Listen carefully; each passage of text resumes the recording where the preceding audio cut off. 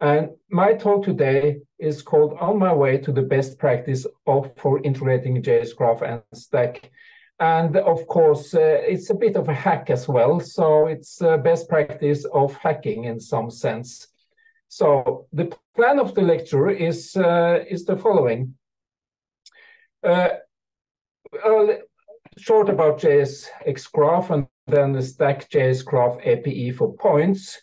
And uh, then the best practice for going around the stack um, JSXGraph API, but uh, by using as much API as possible. So, and then some gallery, and, and I hope that I will be able to show some um, some code, not maybe not the code, but some of these uh, exercises that I have made, some of them. And um, so so this is uh, what is JSXGraph and is and what we want it to be, or actually what we want uh, to be the the uh, the stack and and uh, JSXGraph integration. So of course it's uh, you can you can make whatever you like because you can make a lot of uh, figures with by using this by using stack and a JSXGraph, I mean. But uh, Stack is uh, communicating only to a little part of it. And um, well, well, um, going around it, um, we would like to use JSXGraph's uh, possibilities in Stack.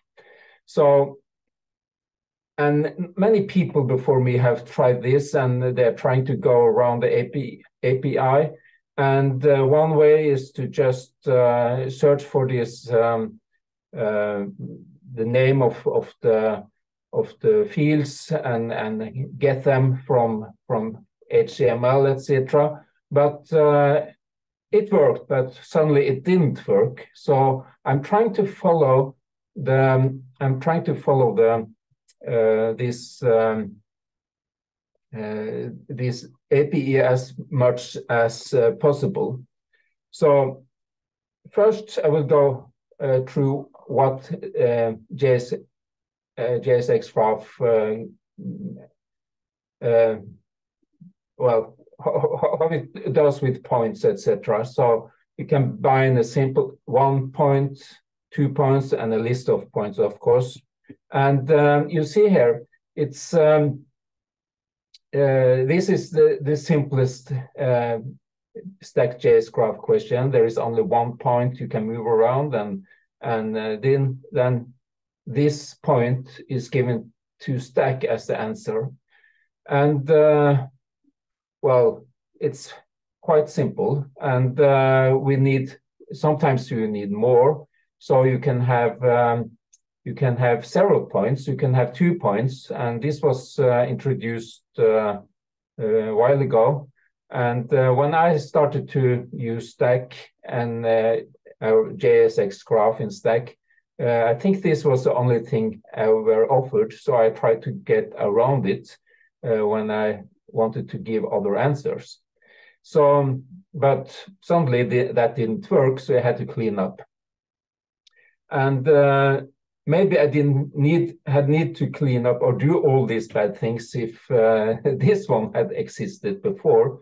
So you can um, make uh, you you can move around on on different different uh, uh points, etc., and you can uh, answer questions like uh, solving um, a linear equation, as in this example you see here. So so this is um, this is uh, something that uh, I tried to do. Okay, there is only one answer that was uh, answer field, and you can get a list of points. But uh, what about binding more variables? And I found that, of course, um, Stack supports that.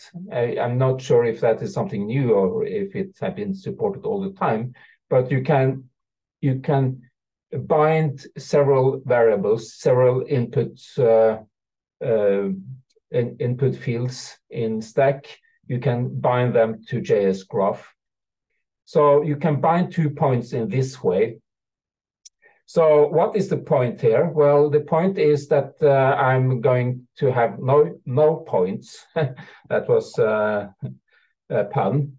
Uh, because uh, I like to make some uh, some not everything that the students do in in the in in the answer is actually an answer that should be um, maybe something is to help them to answer a question or maybe it's just some something that uh, they they would like to change the uh, the color of something. They like to change, for example, if if if some people are color um, blinds, they maybe they want to change uh, the colors in in in the figure, and if if I so, so I can add that support to it. So it has nothing to do with the answer, but I would like to that these properties are there when they have gone to another exercise and then back to this exercise. And these two, these having two two fields in this uh, in in this um, in this uh, uh, in in this input field or two input fields means that okay we don't need them to be the answers. Some one of them can be the states. So what this uh, talk is about going around uh, going around stack. So this is uh, what I'm meaning there. So I, I want to go around stack and um, and uh, and then uh, I will um, uh, look first on, on the one example here, Prim's algorithm exercise that they made for a long, long time ago. And um, maybe not a very long time ago, but uh, well. So the image below, I'm sorry, the image below uh, show the start and, and, and, and the end states of a question where the students click on lines to mark the minimal spanning tree. But also in this um, in this exercise, I had some uh, choices here to change the the color. So you see that the, the when you have not done anything, uh, all the lines are blue, and I wanted to so they could maybe mark all of these uh, in different colors, and green is the answer. And uh, so I had different colors here. Uh, uh, just to mark the candidates here. So of course we we could have some candidates marked with one color. So we could mark, for example, the colors uh, for with, with the with with the candidates like this, and so they could just follow everything and going going through this and and also uh, marking all the answers that or, or all the lines that are not available because it will not be a tree. The uh, it so and and of course all this marking is not about the question uh, about the answer. The only only thing that is is the answer here should actually be a list of nodes. So giving this list of nodes uh, and not uh, not um, this um, the picture here and uh, and the state is, uh, is then given to the answer variable and the state to another variable. So, so this is uh, this was our uh, thought to actually distinguish between the response and and the state. And of course, there are many reasons to that, but I think there are uh, some very good reasons to do that. That all input fields they are text fields. So and uh, stack translates these to maxima. So if we just print directly into the uh, the stack uh, answers, then we can just think of writing them like a student would have uh, written them, and therefore we can we can write we can have whatever type of uh, of answer field in in in in stack and we can write them. So we can write algebraic expressions. So so so the JSXGraph uh, algorithm can write uh, um, algebraic expressions. And actually I, I, I checked about what what is what is happening now is that if if you are if you have a point, it will be floating point that is is given, and sometimes that uh, we, we got into problems then because because these were not accepted as input, as algebraic input. So so and also it sometimes it uh, failed to give the right answer because of uh, rounding errors, etc. And uh, but uh, when you have the freedom to actually write whatever you like into the into this stack fields, uh, it it's it will be a better communication between uh, stack and uh, maxima. So you have uh, JSXGraph giving the answer to stack that is understood directly by maxima, and that is uh, I think that's a good thing. And uh, and weather for uh, that is that is a new word. therefore. Um, um, so I think no. What what is I think I think uh, okay, I'm sorry. I'm I'm reading directly from my my teleprompter, and it uh, we therefore benefit. okay, so so so so we we benefit from the strength of both stack and maxima, and also uh, for storing the state, we are using JSON. And uh, why do we do that? Because uh, JSON can store any string and it can also store any object from JavaScript. So we do not think about uh, translating uh, back and forth. It's easy to do that. So we have full um, JavaScript uh, support in JSON, so that is no no problem there. And um, so therefore we um, uh, we yeah okay. So and sometimes we like to check uh, check an exercise by giving the right answer, and then also we like to fill in all the uh, also fill in the state. And uh, Stack and Maxima they support JSON, and, and and we can also make the teacher's answer for the state. So that is uh, all of this is is done in in this uh, in my um, in in my exercises, um, many of them. So, so they, uh, so therefore, um, uh, we need two input field, and uh, so of course we like to to separate these in, in uh, no, not um, we can uh, hide this input field, but uh, during uh, when you make this uh, when you make these exercises, it's good to not not uh, hiding this, so you could just show them and and and see what's happening, and and it's it's it's quite uh, uh, it's quite amusing to see see what's happening when you you are programming and and things is going the right way. Yeah. So and um, so if you if you start a new exercise, uh, it should start from scratch. So it's um, the state is uh, you, you, may you might give the state uh, just in in the JavaScript code. So if there is so if state store is empty, if there is no no um, state stored in state store, then um, then um, there is nothing to to get. But if there is something, you will uh, you will need to to load it into the uh, to JSS uh, JSXGraph.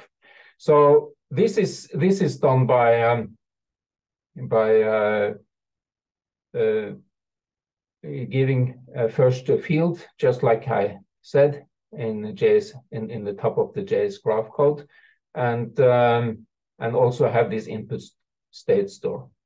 And um, to get the JavaScript object from the HTML field, you you just you just write this. And this is a bit of a hack because I don't know if this will work in the future because this is uh, pure HTML uh, and uh, or JavaScript uh, calling an HTML object. So I'm not sure if this will work well um, very well. So it's, uh, but in the future, this might actually fail, but I hope, I hope not. So when you have the state input um, field, you can, you can read, you can, uh, you can read uh, the content. So first, first about uh, how do we uh, uh, look about or when you, you get an, an object, an object from uh, from um, from uh, JavaScript, it's uh, it's a data type that actually uh, contains several variables. So you have an object, and uh, well, this contains a number 3.14, a string pi, and another object that uh, contains one variable that is called whatsoever, and uh, the value of that is true. So in order to access the elements in the object, we write, uh, for example, there are two different ways to do it.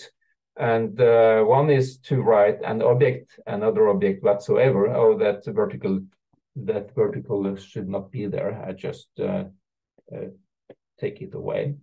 It's just some uh, LaTeX code. So let so the code let what equal an object another object whatsoever. Uh, okay, okay, both cases what is true. So that is um, that is uh, how to read this object that is uh, stored, and um, or actually also how we make these objects to be stored. So First, we need to map them into a string, and uh, JSON is doing that for us. So making the string from an object is uh, done by stringify. So JSON stringify an object that will make a JSON string. And uh, if we like the string back, we just uh, write JSON parse, and we will get the same object back, an ex exact uh, copy of that, uh, that object. So that is uh, what we need to to make the JSON and JSON string and to get the JSON string. So so then we have uh, communication. Uh, this is this is something that is can be uh, given to this um, the the field because the fields uh, are text uh, text field. The the state store are text fields. So so first we have, um, if, if we have this JSXGraph, the, the, uh, the input, um, we, we, we, we have some exercise with uh, one answer and one state. And, um, and then we, we write here, we, we might have some parameters that is got from, we, that we get from Maxima so it can be init state, it can be some parameters, etc. Uh, and um, and uh, of course, this can be we can get this from the Maxima, or we can actually make it here. That's a choice you can do yourself, but it's maybe more flexible to let Maxima do it for yourself for you because then you can use the random uh, random um, variables to make the state. So so here we have, um, uh, we check if state input uh, has this value, and uh, we we use some code here.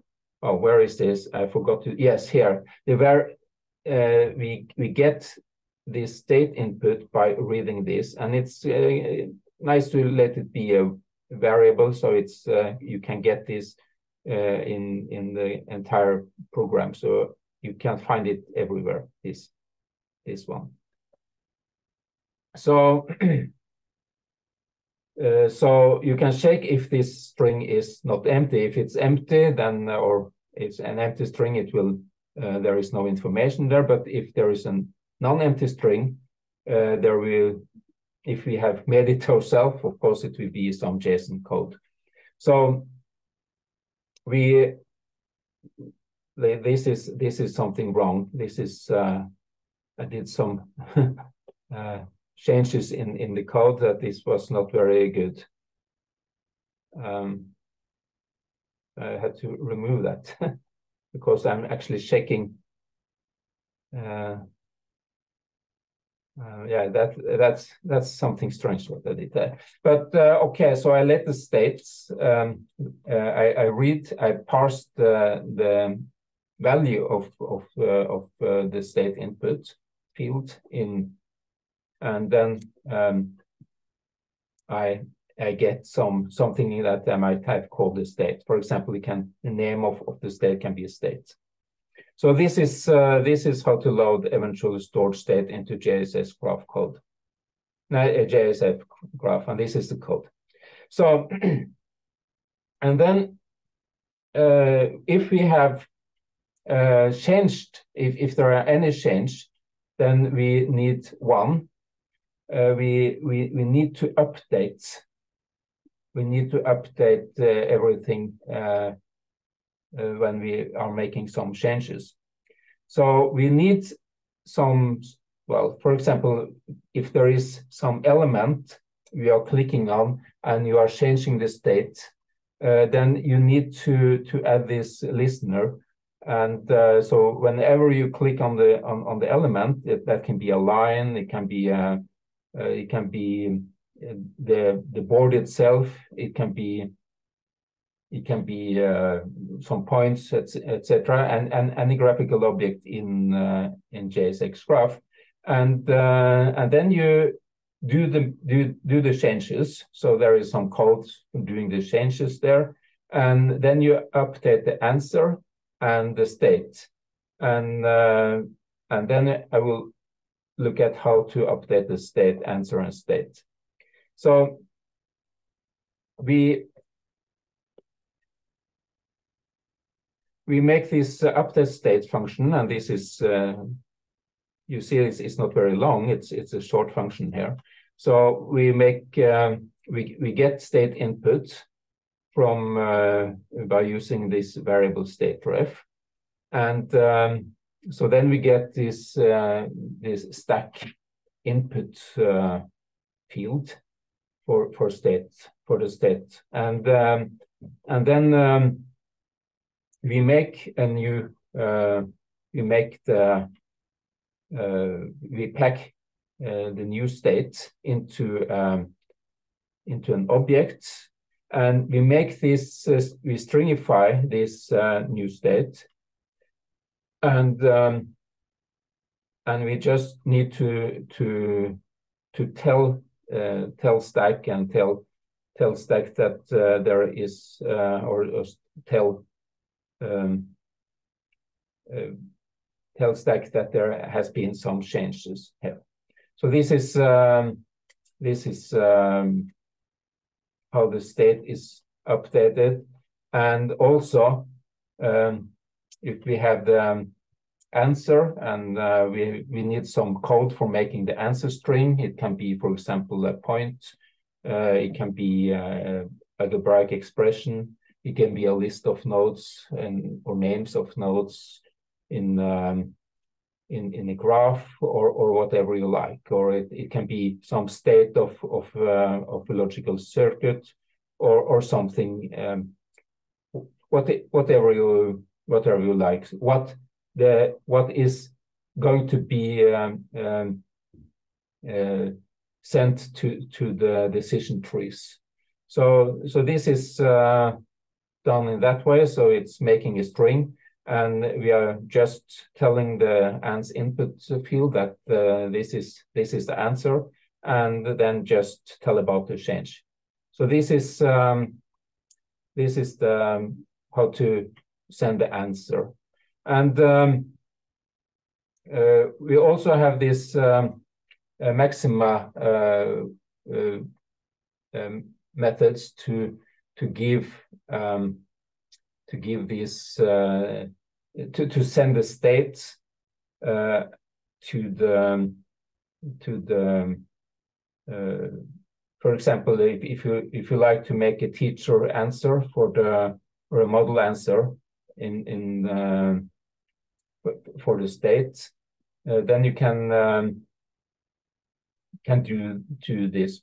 For example if you like to show the students what is the right answer as a graphical uh, picture, this is uh, this is quite uh, neat. So you can you can just uh, uh, give the model answer and and build it just like just like you did almost like you did in JavaScript, but here with with stack um, stack maxima comments. So this is um, this is uh, this is the code and this is how to program it. And uh, and now we can look at some um, some uh, some galleries here. And uh, we have um, uh, an answer and an answer of um, of an exercise. You have the answer here and you have the exercise here. And what they are asked to do here, this the, the language is Norwegian, but you should just uh, click on the fields to change the color to indicate uh, what the set is. And then you can uh, then you can go and check the answer and uh, and and um, and they will get points uh, from this. And the only thing that is sent from this is uh, is um, a set of uh, of uh, which fields of these it's it's I think it's it's just uh, an array of of uh, false and true false if it's picked on, uh, clicked on and and true if it's tr true if it's clicked on and, and false if it's not and and the next one is is something I made uh, last Friday because I wanted to show it to you. this is a log logical circuit uh, exercise that is uh, uh made recently. So you can uh, the, the the idea here is that they can play around with the logical circuit and and click on this. But the, I I could also have the possibility to just fill in the answers by clicking on um, clicking on uh, a button, add a button to this, so that um, so that they just click on that button and then the the the, the table will be automatically filled in with what they have done. So they just play around and uh, make that table in in that way. So I will stop sharing and I will show you some of uh, uh, uh this um, uh, so where is it? Yes, there it is. I will share this uh, this window with you. So this is uh, this is the, um, uh, this is the disjunctive normal form exercise, and uh, set here is given by uh, on on disjunctive normal form, and they are going to click on the different field. For example, you see here it's outside a, but it's inside B and C. So I click on that one. And uh, it's uh, outside A and B, but inside C. So it's that one. And uh, it's uh, in both A, B, and C, which means it's here and it's inside A, but not in B and not in C, which is there. And I just have to check the answer and uh, I get correct answer. Well done and uh, the same the same in in Norwegian. So that is uh, one way of doing it, but but I can reuse reuse everything here. So actually, I can reuse the code and make another uh, exercise, and uh, just with no communication. This is just built by using the same code. So this is. Um, uh, this is uh, Uh, not interactive, but this is the interactive, and I like this most. So what? How does it work? Okay, it's a listener. It's it's it's just listen to the to the to the, the to the board, and whenever I click on the on on on the on the field, if I click somewhere here, it will check: is it inside A? Is it outside C? is is it outside B? Okay, if yes, B is uh, now this field is uh, chosen. So there is only one listener, and it's uh, that is doing this. So it's it's it's really simple uh, simple uh, exercise. It's, it's, it was really, or maybe not simple exercise, but it's uh, it's simple to make. And um, I think it was one of these. No, this is Prim's algorithm. Yeah, I like to show you this too. So what what I do here is I start here with this D. I can choose uh, click two times on on four to get the green line there. So it's saying that okay, the tree shall shall be marked with green uh, green um, uh, green fields. But I like to the students can has the possibility to to to mark everything here yellow if if uh, if they are candidates for the next point. And uh, and uh, so these are the candidates. So it's it makes it easy for them to choose. So they can see okay 24 21 41 28 2 okay 2 is it. And then they can manually click like this. This could of course be done automatically and also filling in this form should be automatically. Here they should just fill in uh, what is um, uh, the, what is the first one D and then the second one G and then then J. But if I I could do this automatically as well and they could uh, just uh, continue like this. And of course five is the next one and and and so on. And they they continue like this and if I check the answer it will say oh no it was wrong incorrect answer but um, but uh, if I if I make one of the other one here, I think I think I have diff different uh, sets here. This one, yes, this one is I can use the same code with with this um, um, correction and tell them what is wrong. So so there's a lot of thing here that can be reused, and I think maybe some of this could be packed into a package that could be standard. That would be that would be nice. So, uh, and uh, I think uh, that was an old one. This is a one point. It's it's moving around on one one point. And um, and and this, I think now this, I think no, that was not one. Where is it? I was sure I had it somewhere here. Oh yes, here it is. Oh, I'm I'm happy to find it again. So this is this is the, this is my first version of this. There is nothing happening here.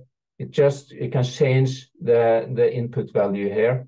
So it's uh, just to make to to to to do something here. But then I packed all of the JSXGraph elements into objects classes, and then they could communicate with each other. And I just uh, click on this, and you can see that. Uh, um, one one one will give zero, so you just write the zero here, and uh, you can one no, zero one one gives a one uh, here, and uh, of course they they can use this to to fill in the graph, and uh, and zero zero zero it's also one.